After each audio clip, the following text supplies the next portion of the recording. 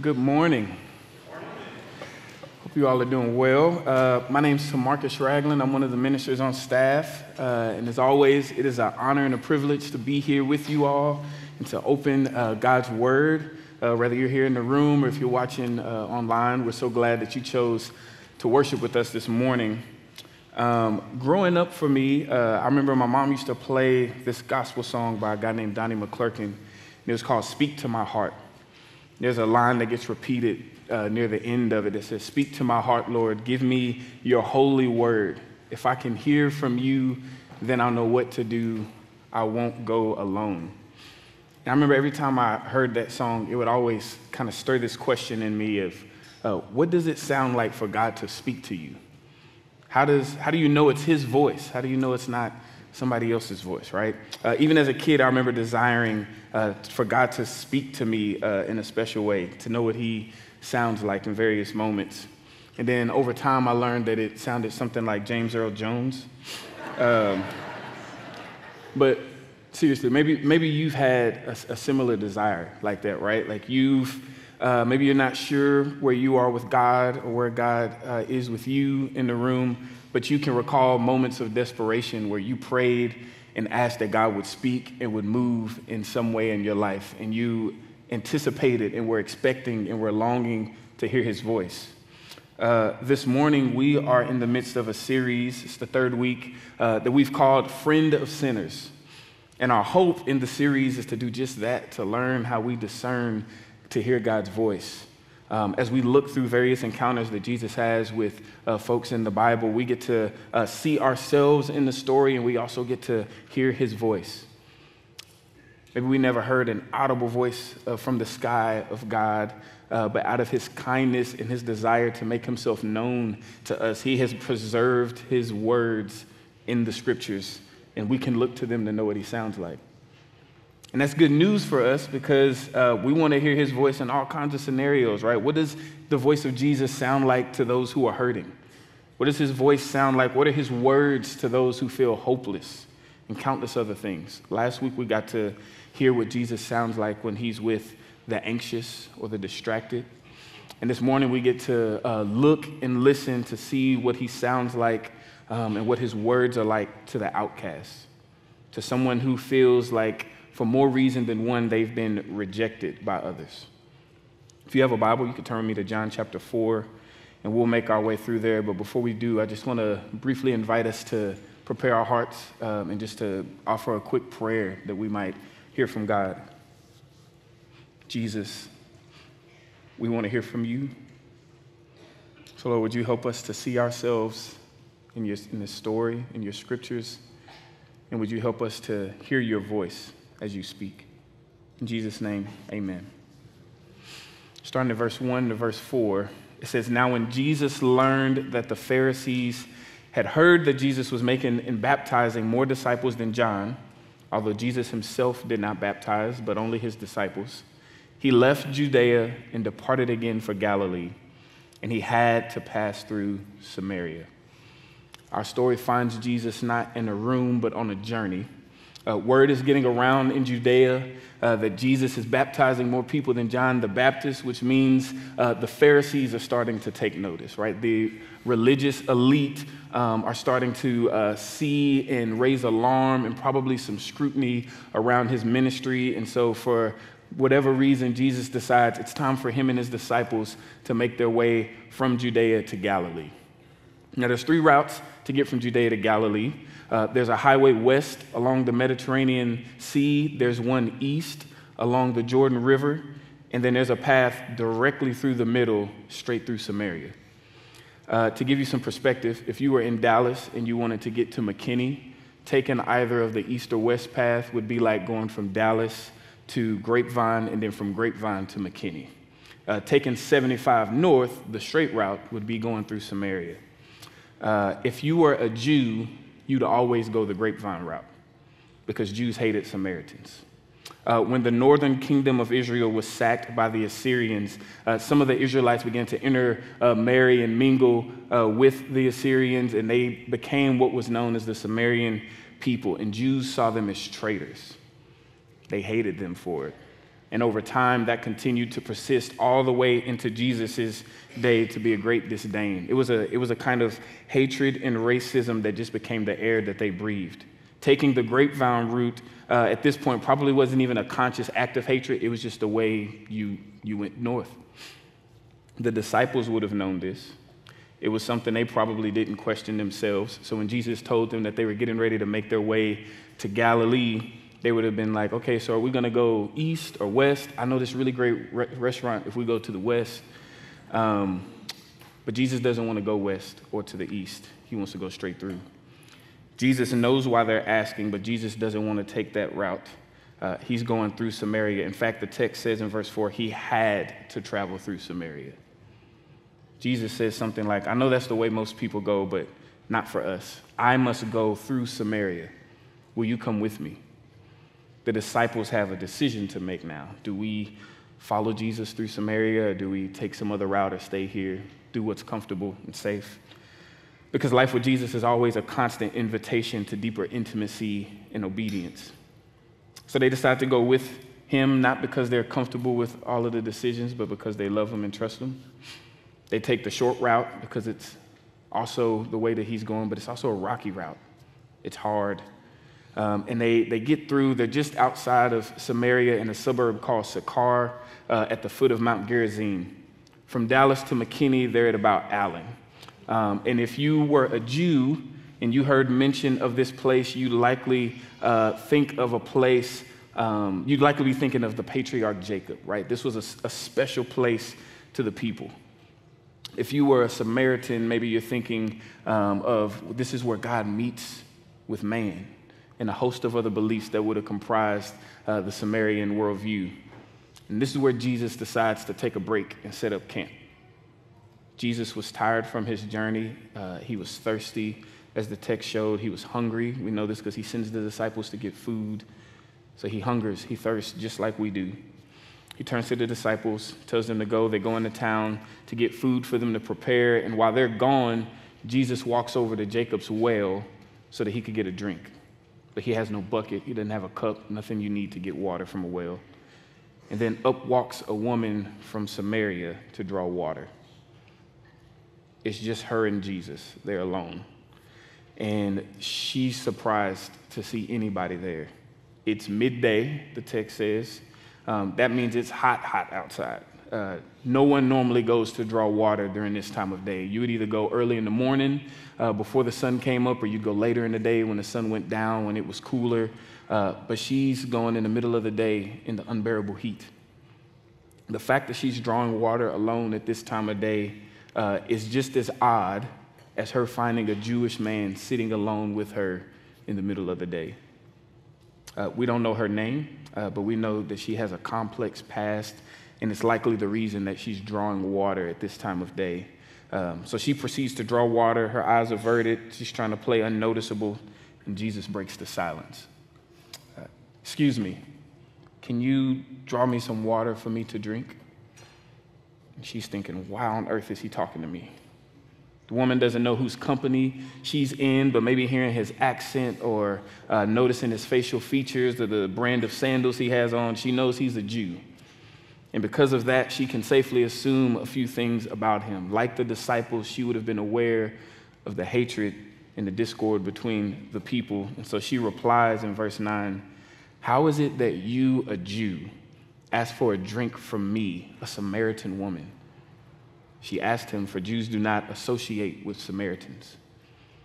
Another way to uh, translate that last part is Jews will have nothing in common with Samaritans. There's no, uh, for the Jews, there's no fellowshipping with Samaritans, no breaking of bread, no sharing a cup.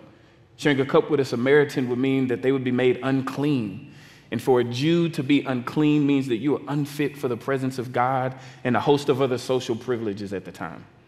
Several things could make a person unclean disease, eating certain foods, touching a carcass, etc.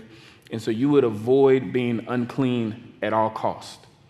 And Samaritans and everything they touched to the Jews would be avoided at all cost. It's the reason you go the grapevine route in the first place.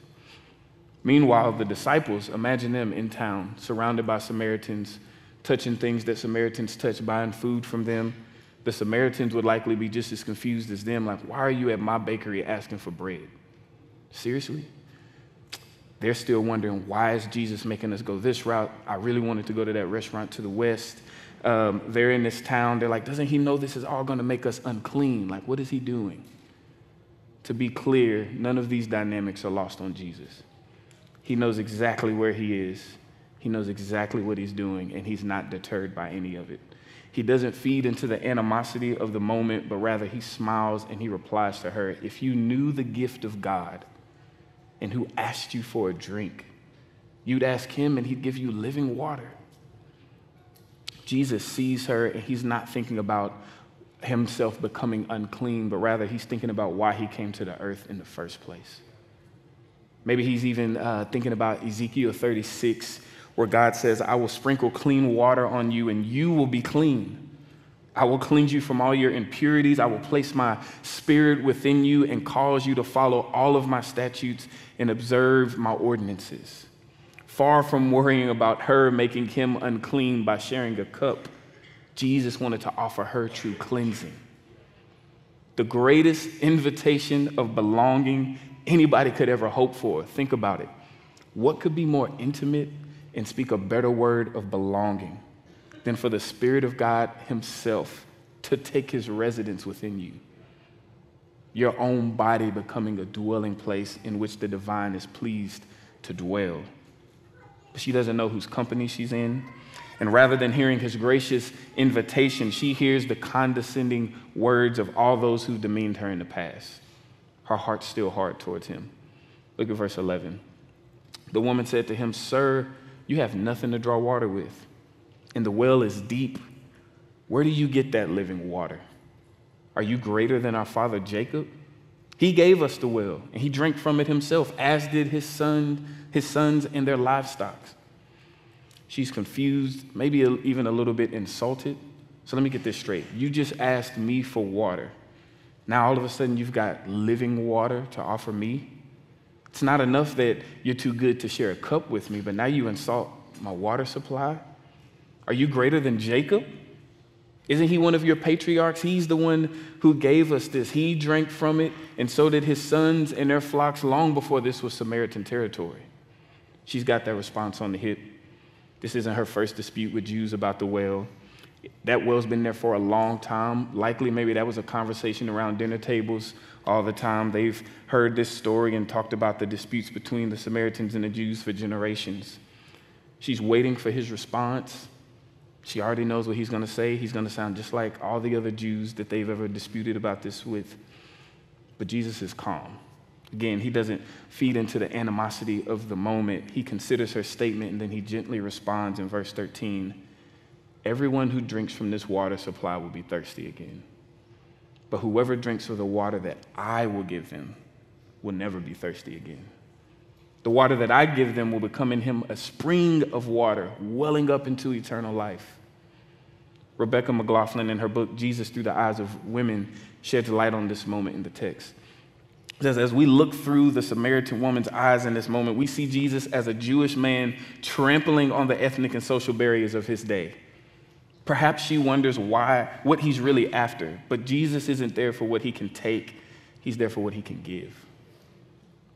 She still doesn't know whose company she's in, but she's intrigued. Her defenses are starting to come down a bit. She's considering what Jesus is offering. This isn't going the way that she thought it would, but an infinite water supply sounds pretty good. That means no more lonely visits in the middle of the heat to this place. Remember, there's a reason she doesn't go to the well when everyone else does. Uh, she wanted to be there alone. That was part of the plan. And the prospects of not having to do that anymore was enticing. She's like, I don't know who this man is. I don't know where he's getting this living water from, but if it can get, keep me from having to come here over and over again, I'll take it. So she responds, Sir, give me this water so that I will not be thirsty or have to come to get water anymore. Jesus' facial expression changes less levity, but not unkind, like when you're about to tell a friend difficult news. Jesus wants her to better understand his invitation, so he reveals to her that he knows why she comes to the well alone. Very well. Go get your husband and come back. His tone is patient. He's being a gentleman by inviting her husband to be a part of this conversation in exchange, but he knows it's more complicated than that. Jesus is beginning to step into the middle of her pain. She hears the word husband, and the heat feels hotter. She's sweating. Jesus' tone was gentle, but the words reverberate loudly in her mind. She's wondering, why is he asking about my husband? How does he know? Did word reach Judea already? She responds quickly and direct I don't have a husband. That reply, too, she keeps on the hip. Easy way to keep from going to a place she doesn't want to go. But that's exactly where Jesus wants to go. Because life with Jesus is always a constant invitation to deeper intimacy and obedience. Jesus responds with grief in his voice.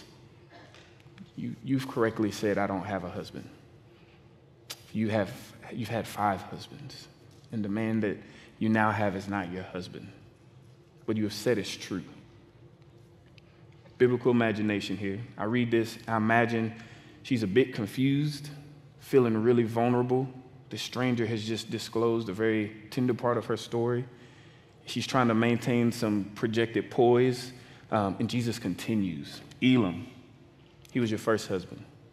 You loved him, you were faithful to him, you were so excited to be married, but he wasn't a good husband. He was unkind to you. Eventually, he divorced you. Then you remarried Caleb. He had a hard time getting over your previous marriage. You had a hard time comparing him to your previous husband. That marriage ended. Then he goes to the third. Maybe that was mostly his fault. It ends. Then he goes to the fourth. Maybe that's mostly her fault. It ends. She's wondering, how does he know that? He doesn't just know about the divorces, he, he's naming names. He knows what happened. Has he met them before? At what point did the talk of the town spread? It got to Judea, it came back to this guy. Like, what's, what's happening? Are people now speaking of her, of the, the woman who can't make marriage work?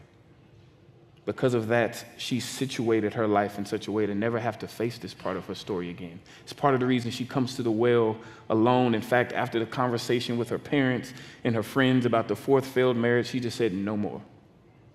Just gonna leave it in the past.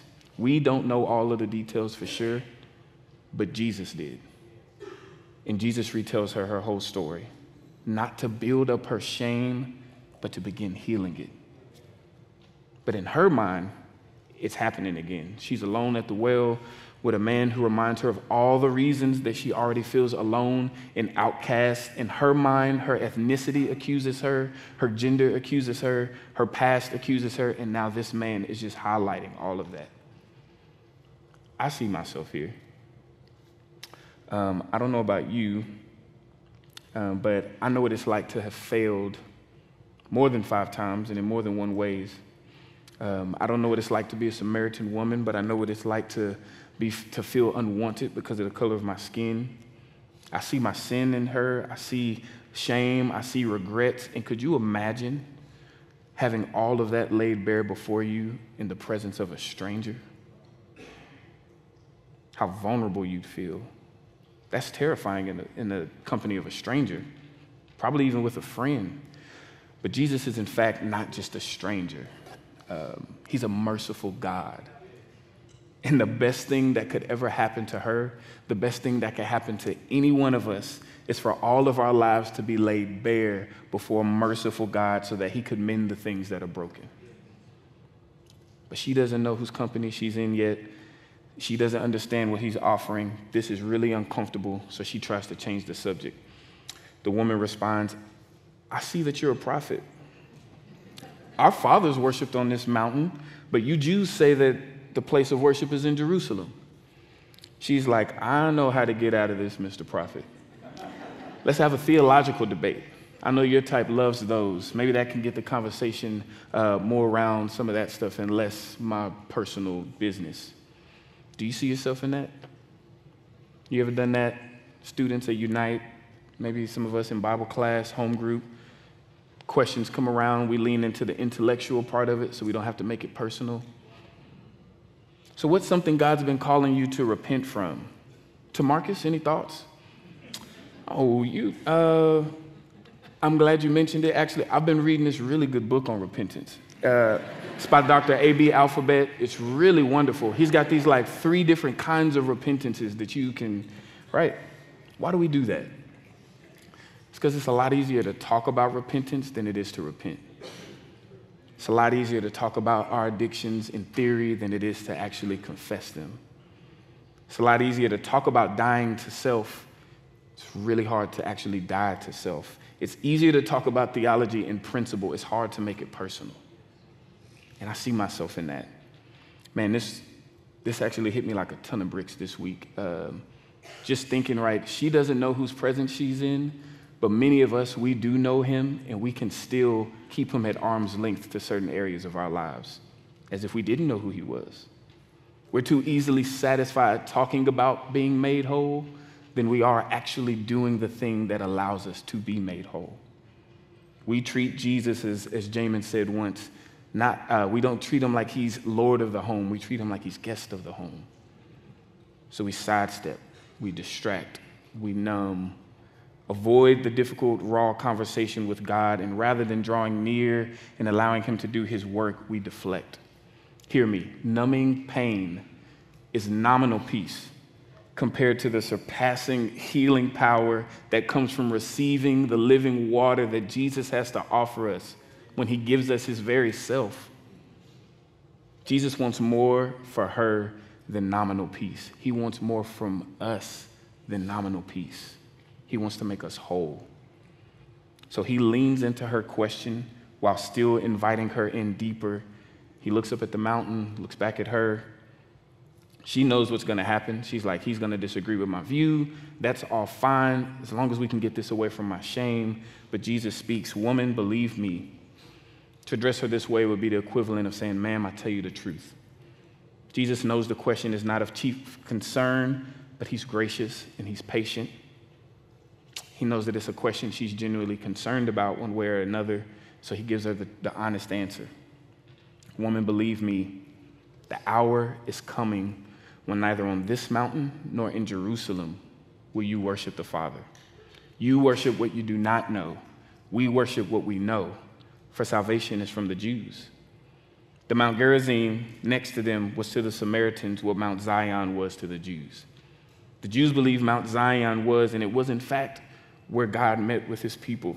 Samaritan believed it was Mount Gerizim. As a Samaritan, she would have had an off base theological view. It was a mix, some mixture of what the Bible teaches about God and what the Assyrians believed about their gods.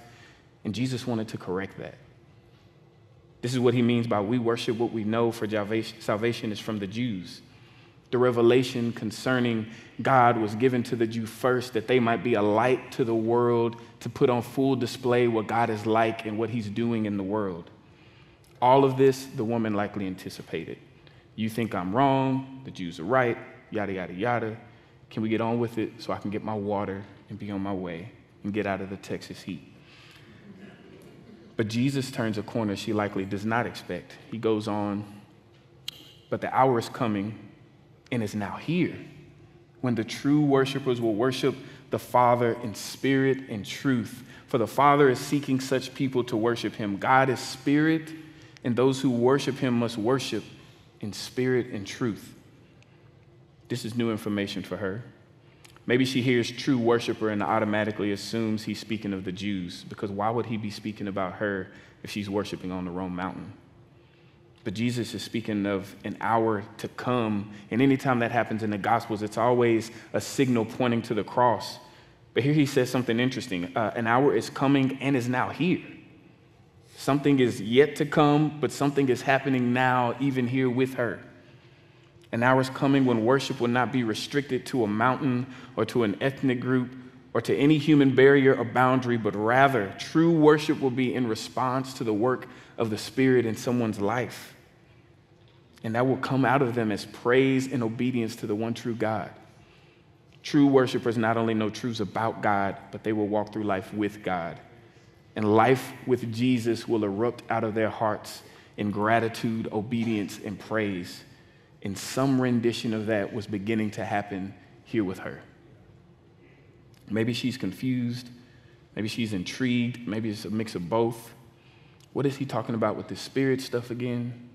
I imagine either way, she's still trying to wrap up the conversation and be on her way. Besides, whatever kind of worship the, the Father's looking for She doesn't see that she's one of them yet. Plus, she starts to notice that the disciples are coming from afar. Great, there's more of them. Time to go. So she replies as she's preparing her things to leave. Uh, that's wonderful. Sounds great. I know the Messiah is coming, and when he gets here, he'll explain all things. Until then, we may never know. Have a nice day. And Jesus quickly responds as to stop her in her tracks I am he. He communicates so much in what he does not say. He doesn't say, I am he only for Jewish men. He doesn't say, I am he only for those who've never been divorced. He doesn't say, I am he for those who can come to the well when everyone else comes to the well. He just says, I am.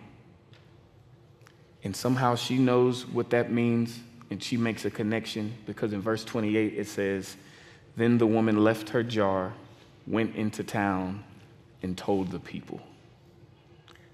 That living water Jesus was talking about before softens her heart, opens her eyes.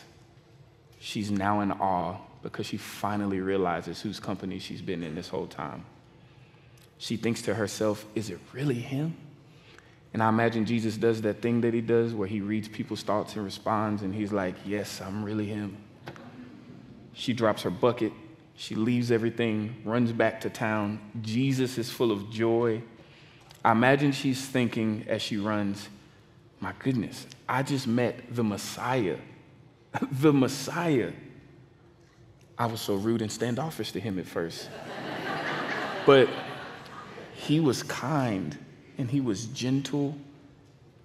He was with me. And he wasn't ashamed to be with me alone. When his, when his guys came, he didn't, his demeanor didn't change. I, I never even gave him a drink of water. I can't wait to tell all the people in the town, right? She's just, she's ruminating over the things that just happened, replaying the conversation, realizing that he's much kinder than she had anticipated. She doesn't wait with a full heart. She runs and tells. There's even a little bit of unknown in her delivery when she gets there. Look at verse 29. She gets there, and this is, this is her message to the town Come see a man who told me everything I ever did. Could this be the Messiah? They left the town and made their way to him. So she gets to town. Maybe there's a group of women, and they're murmuring about why she goes to the well alone. Maybe she runs into one of her old ex husbands. Maybe she runs into one of their new wives. Who knows? A bunch of people are there, and she just starts telling any and everybody that she can about this encounter she just had. Y'all have to come with me to the well. I think I just met the Messiah. At first, they're skeptical. Like, how could you be sure? How do you, how do you know? And she's like, Well, I've never met this man before. It's a Jewish guy. I think he's just stopping in town. And he just started recounting all these things in my life. And she begins to start to retell the shameful story that she always wanted to hide to highlight the gracious goodness of our God. And hear me delivery matters, but an imperfect delivery about a perfect God is more than capable of changing lives. It wasn't the best pitch, but she was faithful to tell, and God was faithful to pour out his spirit. And whatever she said, all of the people from the town left and they went to see Jesus. And notice what she says. She doesn't say, Come meet this man so he could put all of you in your place for what you did to me. It's not all on them, there's ownership. Come see a man who told me everything I ever did. Jesus cares about her suffering and our suffering, and we'll see more about that next week. And part of caring about all of our suffering is dealing with every part of our lives. That means our suffering, our sin, our shame, and everything in between, which can be hard to see and hard to deal with uh, when we suffered under the sins of others. But look at how radically Jesus changed her life. He's no longer just Messiah in theory in her mind, He is her Messiah. And for every part of her, Jesus quite literally took her pain and her shame, and in its place, He gave her joy. And that was His goal the whole time not just to tell her, but to show her that she is, in fact, the kind of worshiper that the Father seeks. Jesus presses into the most painful parts of her heart, not to destroy it, but that he might take up dwelling there. She becomes a living temple in whom the Godhead is pleased to take up residence. Though rejected by man, she's accepted by God, and more than accepted, she's wanted. Once an outcast, now a welcome daughter. But that cost her something, friends. It meant she had to be in a place that she loathed being, in company that she did not want, talking about things that she did not want to bring up, all so that she could receive from God the true gift of life that nobody can live without. And listen, all of that is possible for her and for us because there was an hour coming when Jesus himself would pay a cost that was much costlier. He would be in a place that he loathed being in, surrounded by company who didn't want him, spewing and saying all kinds of things about him that were not true, all while he's breathing his last breath so that he might give to all who believe something that no one can live without. This Samaritan's woman immediate response to that love, that mercy, that grace, don't miss this. The immediate response was to run towards people who had marginalized her a source of her shame. Also, that she could tell them about this man who changed her life. She didn't need to take a class first. She didn't wait till she had all of her questions answered. She just was eager to tell them what happened to her. And listen, should we be studying our Bibles and growing in the knowledge of God and training ourselves? Absolutely. As a training minister here, I'm all for that. Sign up for the Institute, Bible class is starting. Do that. But you don't have to wait till you finish all of that to go and tell somebody what Jesus has done for you. We can learn as we go. And some of the learning even happens while we go. Do you see yourself? Have you allowed your life to be laid bare before God in this way that He might take up residence with you, that He might be Messiah over all of your life and cleanse you how might you know if you've had this kind of encounter with Jesus before? That this living water has uh, welled up in you and cleansed you from the inside out? A, good, a question to ask is Has it forced you back into town? Has it, has it caused you and, and forced you to push to where you just couldn't help but tell somebody of what he has done in your life? Because what comes from this woman's obedience is so beautiful. She returns to the town, she, where she returns from the town with all of the people. The disciples have prepared a meal, likely with the stuff that they gathered in town. Maybe they recognize some of the people from the town. Surely some of the people from the town recognize them from earlier. They extend hospitality there. They sit down at the well. Jews, Samaritans break bread, drink water. They listen to Jesus teach. They're so captivated. They ask him to stay, and he does for a few days. And we get to see in this scene an embodied picture of Christ reconciling all things to himself Jews, Samaritans, men, women, rich, poor, everything in between, gathered and receiving life and belonging at the feet of Jesus together. She goes from being alone at the well to belonging at the well with Jesus, along with what will become the family of God. This woman's encounter with Jesus had her life exposed before her. She found him merciful and kind. She was eager to share, even to those who had rejected her, because Jesus loved and forgave her. She was able to love and forgive them, not because of all of the things that they did to make it right, but because of what Jesus did to make her right with God. Do you see yourself? Can you hear his voice? As we close, maybe there's a couple questions lingering in our brains. Maybe some of this is new for you, and you're wondering do I really need that? Do I, do I need the thing that Jesus is offering? maybe you're asking a different question. Maybe you, you know you need it, but you're asking, is it for me? Does he want to be Messiah over my whole life like he was for her? The answer to both of those questions is yes. We all need it, and it is for anyone who has ears to hear and who will respond to the call of his voice. Jesus wants to do for you what he did for her and what he's done for so many from that time going forward. He wants to be Messiah over your old life. Will you let him? Pray with me. God, thank you. I thank you that you are so kind that you meet us right where we are. She didn't have to make her way to Jerusalem. You met her right there in Samaria. You had to go to Samaria. That's your heart's posture towards those who are far from you. You're eager to extend your grace and your mercy and to administer your healing balm on every part of our lives if we would let you.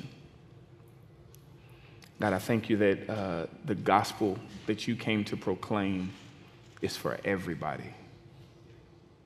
It's for everybody. And it covers a multitude of sin and a multitude of shame and a multitude of guilt. Lord God, you, you are mighty enough to cleanse all of it by the power of your Spirit because of your sacrifice on the cross. So, Lord, would, would we just be willing to give you the access to allow you to do the hard work in our lives? Lord God, that we might receive from you the gift that no one can live without, but we all need. Help us to see ourselves, Lord. Help us to hear your voice. And will we be faithful to respond accordingly? It's in your son Jesus' name we pray. Amen.